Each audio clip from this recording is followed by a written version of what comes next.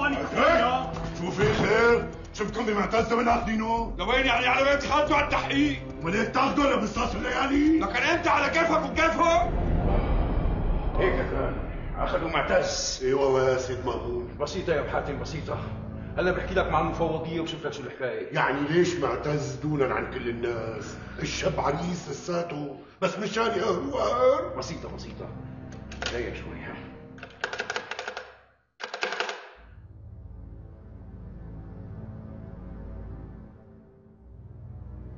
غريبة. ما حدا يرد والعمل سيد مامون اسمع يا ابو حاتم. أنا رح أروح أشوف الحكاية بنفسي. وشيت انه استنى التليفون ما رح تجيب نتيجة. استنى لغير وعي وجايك. إن شاء الله ما بنحرم منك. الله يخلينا إياك. شو هالسلميات والله رح يخربط لي حالاتي أوقات بحسه قبضاي وصاحب لهفي مثل الزعيم ابو صالح الله يرحمه. خايفة عليه يا مرت عمي. خايفة يضربوه أو يخفوه من على وش الدنيا عود الشر عنه لا تفاولي عليه. هذا عصام.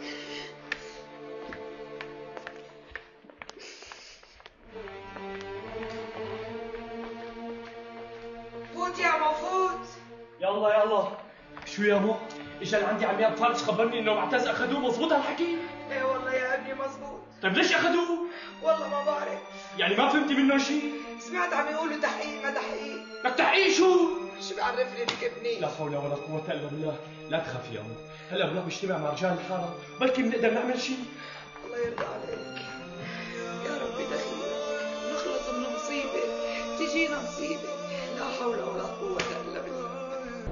الله العليم يا جماعة، الدرك أخذوا معتز مشان قصة أم جوزيف. شلون خالي اشرح لي إياها أنا بشرح لك إياها. الدرك عرفوا إنه أم جوزيف كانت مخبية أبو أحمد عندها مزبوط؟ مزبوط معناها الدرك عرفوا إنه كل رجال الحارة طلعوا بدفن أبو أحمد. بري عليك عصام أنت عم تحكي صح 100% مشان هيك أخذوا معتز لحتى يحققوا معه، الله يستر.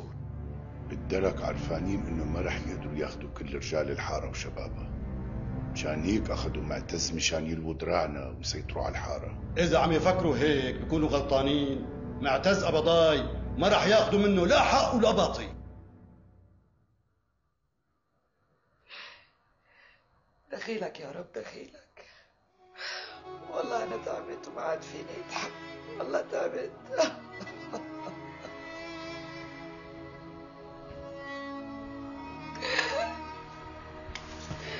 مرت عمي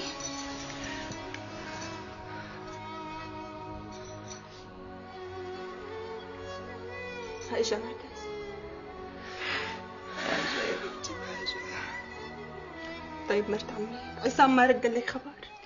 ولا عصام بيا.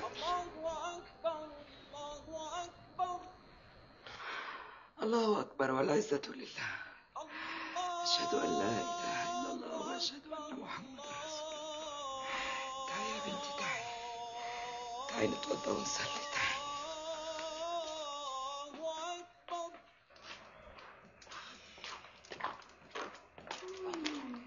أبو الفوارس نايم. أبو الفوارس. لين عقيد ألف حمد لله على السلامة إن شاء الله. الله يسلمك يا رب. تسلم لي يا رب. كيفك يا فارس؟ أهلين مأمون بيك. وين الجماعة؟ ناطرينكم بالمضافة. طمني طمني خي معتز إن شاء الله هنيك ما حدا حكى معك شيء. لا ناكتي ناكتي الحمد لله الحمد لله. شو شايفك بردان بالصيفية؟ لا بسلامة فهمك يا مأمون بيك هادي بطبخ علي الشاي لك شو رأيكم هيك بشي كاسة شاي اكرك عجاو حضر لنا إياها. خمرها منيح يا فارس. عراسي خوش بحب شباب. لون العقيل لك تسلم لي يا عقيل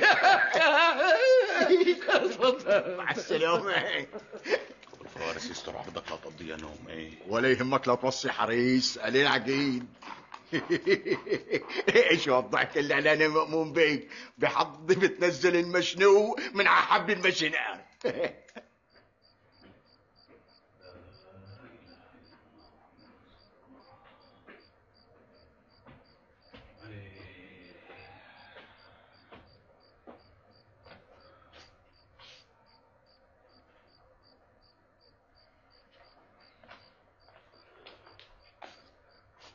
نايمة هوني عرق عيني. يا بنت. يا بنت. ابن عمي. الحمد لله على السلامة. الله يسلمك يا رب. ماني مصدق عيوني اني شايفتك لا صدقي ما فيها شيء ما فيها شيء. معتز. كمان انت فايقة يا مون. وحياة اللي خلقها الصباح الحلو. دعيت لك بصلاتي. والحمد لله ربي استجاب لي. الله يخلي لي اياك يا مون الله يرضى عليك تقبرني يبعت لهم قتلهم شو كان بدهم منك؟ ما في شيء يا مو سألوني على أبو أحمد وأم جوزيف وأكيد أنت ما حكيت. انو أعوذ بالله يا مو إيش كان أنت حكيتي كلمة؟ أنا حكيت كلمة. ايكوتي بتتصلوا بكل المخافر الموجودة بالشام. لازم ياخذوا كل الاحتياطات. مع السلامة.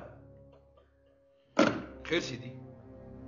في سجناء هربوا من سجن كفرسوسة وشافوه متجه لهون على أحياء الشام. مستحيل. هدول إذا بدهم يهربوا ما بيجوا باتجاه الشام بيهربوا باتجاه الغوطة. De toute façon لازم تفتشوا بكل مكان.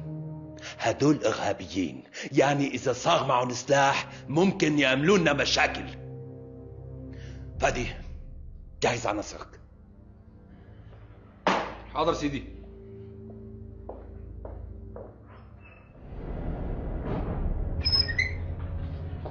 سيدي بغطية مستعجلة.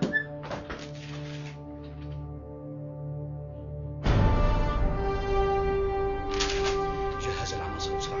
مجموعة محابيس هربوا المخفر كفرسوسة وانتشروا بين الحارات القديمة. الداخلية عم تطلب مؤازرة الجيش لإلقاء القبض عليهم. فهمت يا رستم بسرعة جهز العناصر. باركت له لنوري يا رستم مبروك يا سيد نوري. الله يبارك فيك يا رستم معناتها سيدي حابب ارجع لخدمتي القديمة بالآبون إذا ما عندك مانع. ليش يا رستم خليك عنا والله مبسوطين فيك. والله يا سيدي بتعرف إنه أنا ساكن هنيك وحابب كون جنب ابني الله يخلي أولادكم. بقى إذا في مجال تساوي لنا كتاب للداخلية مشان هالموضوع. إيش كان هيك؟ تكرم عيونك. أنت شاب طيب وآدمي وبتنخدم راح أرفع لك طلب للداخلية. وبإمكانك هلأ تروح على الآبون وتشوف ابنك. الله يديمكم سيدي احترامي. الله معك. أنا شو أعمل سيدي؟ أنت يا نوري هلأ بتنزل تجمع العناصر. نعم. وبتاخذ التفقد نعم. وبتوزع لي الدوريات على الحارات. حاضر سيدي ولك نوري! نعم. سيدي لك بني آدم! كيف بتفوت لعندي ومالك حاطط العمر على رأسك؟ العمر يضربك! قسما بالله إذا بتكرر! ست أيام الحبس! لا يقبلك حاضر أنا لا امرك سيدي يخرب بيته! إن شاء الله أيامك يا رستم شو يا سيد مأمون؟ بتحكي أنت ولا أحكي أنا؟ لا أحكي جنابك يا شيخي. أعوذ بالله من الشيطان الرجيم. بسم الله الرحمن الرحيم. هو الذي خلقكم من نفس واحدة وجعل منها زوجها ليسكن إليها. صدق الله العظيم. صدق الله. با يا بنتي يا فريال الله سبحانه وتعالى خلق هالكون وسن له قوانين إلهية لحتى تعمر الدنيا بالبني آدم. ونعم بالله. والزواج سنة من سنن رب العالمين. والسيد مأمون ابن عمك يعني ما حدا غريب وشايف فيك كل صفات المرأة الصالحة وطالب إيدك على سنة الله ورسوله. والله يا بنت عمي أنا كنت محرج منك كثير مشان هيك حبيت أجي لعندك وجيت معي شاخة وبتمنى من رب العالمين إنه يصير نصيب وما ترفضي طلبي. يا جماعة والله أنتوا خجلتوني. أنا هلأ ست يعني بنتي عندها أولاد.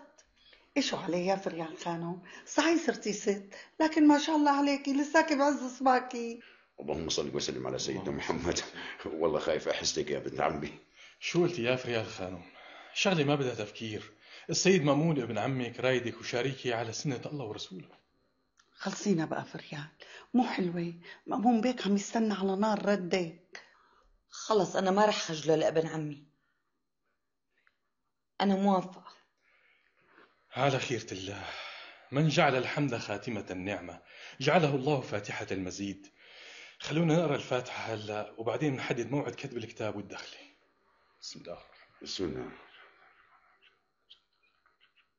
إن شاء الله ألف مبروك يا سيد مامون. الله يبارك بعمرك يا إن شيخ شاء الله ألف مبروك يا مأمون بيك الله يبارك بعمرك يا مسكين ترى ماني نسيانك وحلوانك عندي يا الله يخلي لنا إياك يا حق السلام عليكم. مبروك ست فريال. عليكم السلام. إن شاء الله ألف مبروك تقبرني إن شاء الله ألف مبروك يا حق أنا رايحة أخبر كل نسوان الحاره إنه عرسك يوم الخميس الجاي.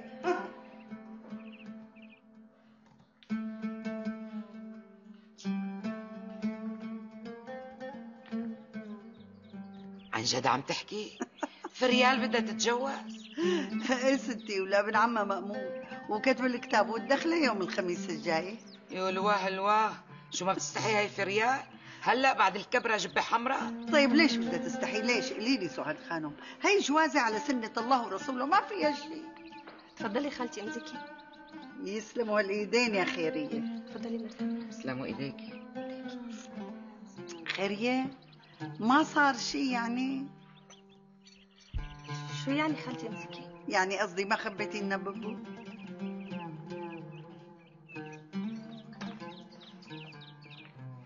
هيك خجلتيها لخيرية إيوه أنت الثانية كمان هي فيها خجال. ليش شوفي بعد الجواز غير الحبل والولادة دغلي مزكي هلا بس نخلص. بدي روح أنا وياك نشق على مرتخي. عم يقولوا لي تعبانة كثير الله ألف مبروك ألف مبروك يا سيدي. الله يبارك فيكم يا جماعة. صدقوني صدقوني أنا خجلان منكم. يا لا ما في داعي للخجل. بالعكس أنت رجعت لحارتك ولعند أهلك. ولازم تكمل نص دينك لكان إيه سيد مامون؟ وإمتى حددتوا كتب الكتاب والدخليه الخميس الجاي إن الله إن راد شاء الله إن شاء الله. شاي مأمون بيك يسلموا حدوه اسمع حدوه. وزع شاي على حسابي لكل شباب القهوه يلا. السلام عليكم. وعليكم السلام. عليكم مرزوق. أما سمعت لكم خبرية إن شاء الله ما تكون مضبوطة. خير ابو مرزوق. شو سمعت؟ سمعت لكم إنه أبو دراع صور ال 11 قاتل العقيد أبو شهاب وداخله عنده بالبيت لك شو هالحكي؟ يا لطيف شو هالخبرية هي؟ واد. صلوا على النبي يا جماعة. اللهم صل على النبي. هذا الكلام عيب ينحكى في حدا منكم عنده دليل إنه أبو شهاب مقتول ومدفون ببيت أبو دراع؟ لا.